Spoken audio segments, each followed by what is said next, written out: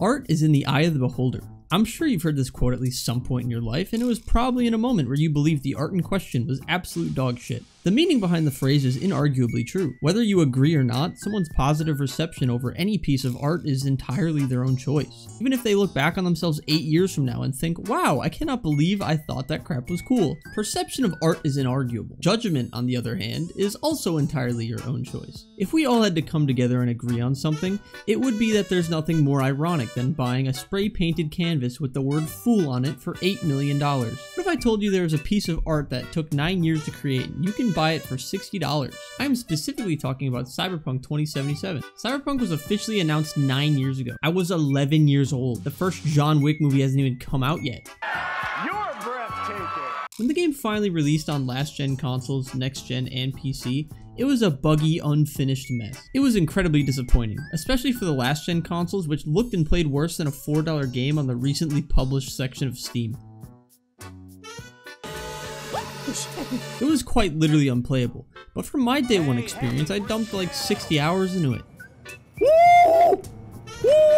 I mean, I was on PC, of course, so I can't speak for the hellish experience that was given to console players, but I don't know, just like cry about it or something, I guess. Alright, might as well get to the video now. I just had the urge to write a lot in like a video essay style after YouTube was relentlessly trying to get me to watch this four hour long video about H3H3 and Trisha Paytas' failed podcast.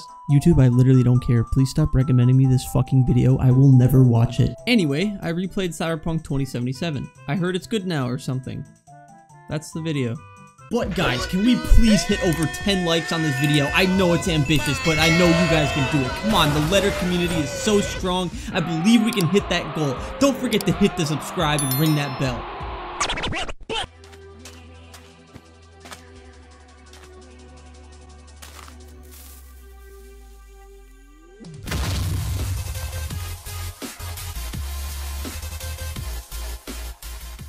I'm surprised if you made it this far into the video, but I appreciate your dedication because I would have not blamed you if you had clicked off the video after going through the worst 30 seconds of your life. It took me 3 weeks to edit that one segment, so I hope it was worth it. I am honestly not even sure how to move on after that, but I can certainly try. So the game starts with you being told you need to steal a car because our friend can't pay off a debt to some guy with some stupid ears. And quick spoilers, I never see either of these two people again for the entire rest of the playthrough. I got peer pressure to get into a car by a guy V apparently has history with, but first I had to check if V got hops, and she kinda knew. He was gonna drive me to the spot I needed to steal the car from, but we got politely asked to pull over by some law-abiding citizens.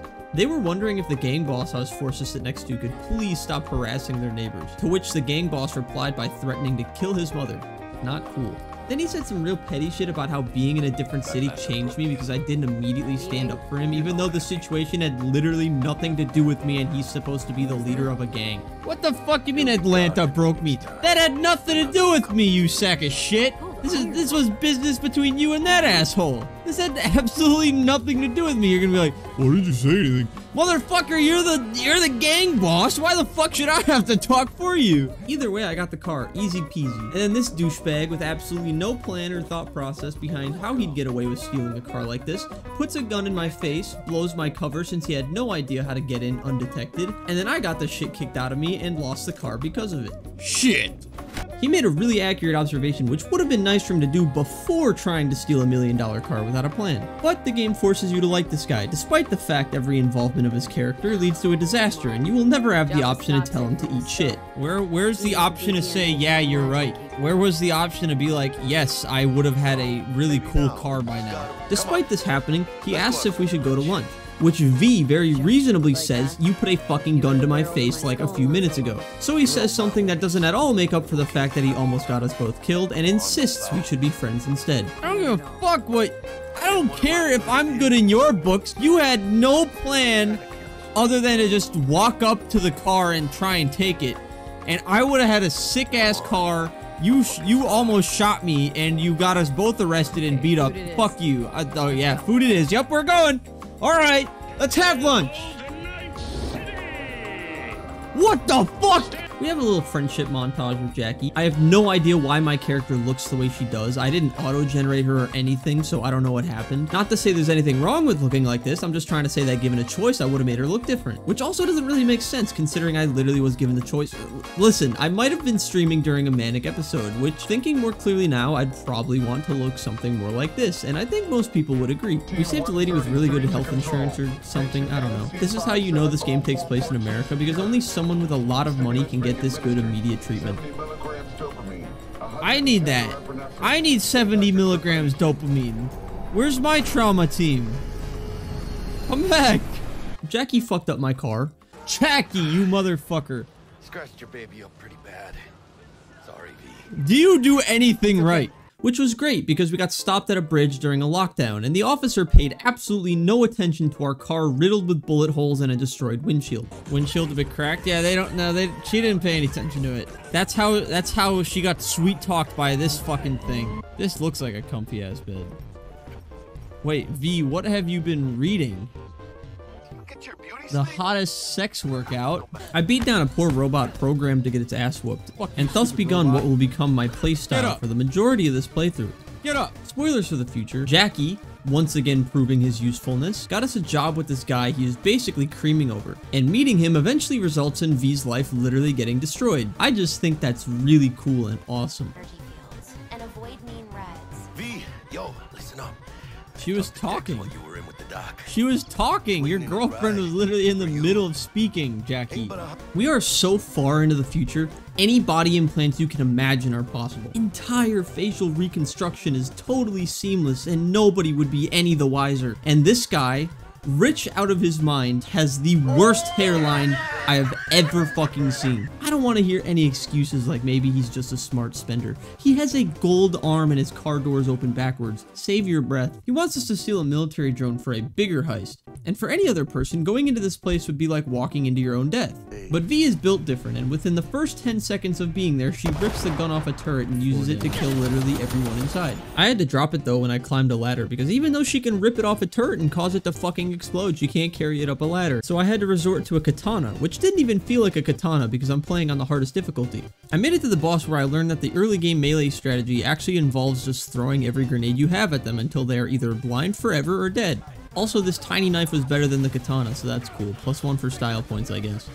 At this point, the story lost me because I have really bad retention of anything, so I just stared at her blankly as she talked about stealing something. Here we met Judy, who is really good with technology and gives us a VR headset with a corny ass name. But we also learned that Lizzie's bar used to be called Lizzie Jizzy. It gave us a POV of what it's like to be the average Chicago resident. I don't know why, because this is literally just an average Tuesday. After this, the stream actually died. And then I proceeded to stream over 52 hours of Cyberpunk over the span of three days, which was when I actually started to get into the groove of things. But this was immediately followed by one of the hardest two weeks I've ever had to deal with, which is why this video has taken longer than expected to make. So uh, sorry about that, but I digress. I strayed away from the main story a bit to discover that leveling in the right areas of this game is actually really important. Is that a boss? Because some areas are definitely way harder than others, which, yeah, makes sense, but this game is so fucking big I don't know where to go. I'm gonna keep it real with you, Chief. I ain't reading all that. Holy fuck, it's a zombie! On my first cyber psycho, which are basically for the most part just like homeless dudes with mental illness, and he killed me once, so I metagamed the shit out of him until I got the chance to beat him down. Fuck you, Ellis Carter. This is what most of the playthrough will look like since I decided to go with mainly just fists. just beating the shit out of him. Going back to the main story, since I assumed it's gonna be the quickest way to level, I'm saving this soundbite for later. Afterlife, here we come, baby. yeah. just an obnoxious character. And every interaction I have with him has to be positive, and I'm like, yeah, let's go, Jackie. Hey, everyone's got to go sometime, right? Why not in style? What was that? Oh, and by the way, name's Jackie Wells. You want to write down my recipe? Shot of vodka on the rocks, lime juice, ginger beer. Oh, and most importantly, a splash of love. if someone said this at a bar, they'd have a glass thrown at their head. I don't.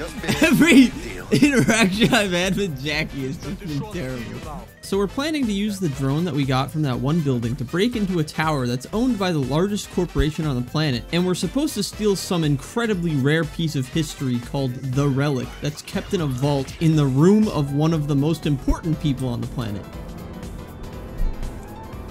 I'm not gonna. I'm not gonna say anything. I literally don't care. I'm not gonna talk to Jackie at all. This is the most important day of my fucking life. That's awesome, Jackie. Yeah, by the way, I slandered Jackie this entire series. I am actively praying on his downfall. Ever since he's shown up, he's only gotten us into bad situations. No, he can handle this himself. If I text them, or we are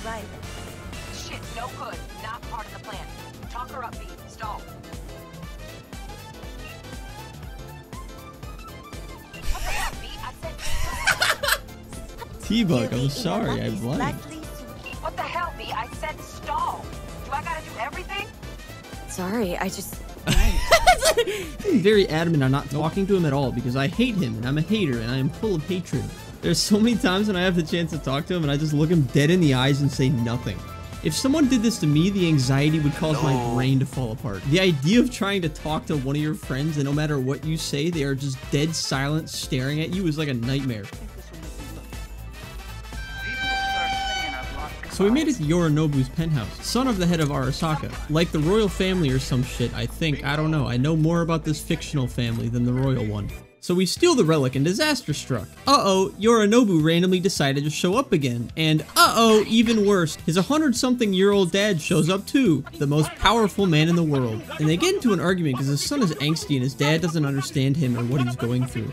And his dad freaking dies, bro. He done killed him with his own bare hands. This is not good, because now we gotta escape fast, and we couldn't make it to our only chance of getting out, because we got spotted, and we fell down pretty hard. Now the relic is dying, and I'm okay, but the Jackie is dying, but more importantly, the relic is dying, so Jackie had to put the thing in his head, and I don't know, I guess it didn't do nothing to him, so that's good. Now we gotta go through this slog of stealth, and it took forever, but here I started getting used to my hacking abilities, and it makes me feel kind of cool using it, I won't lie, it's a pretty neat feature, especially later in the game. I also got good at doing the breach protocols, because they give me money for some reason, and when I do them quickly, I look smart, even though it's incredibly easy.